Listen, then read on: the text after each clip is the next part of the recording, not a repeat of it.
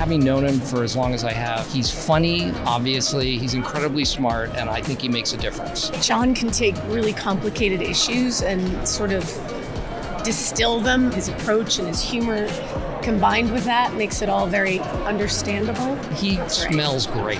He does. He's a great smelling guy. I think he kind of made my career, frankly. I, I wasn't on a really fast path to anywhere before The Daily Show.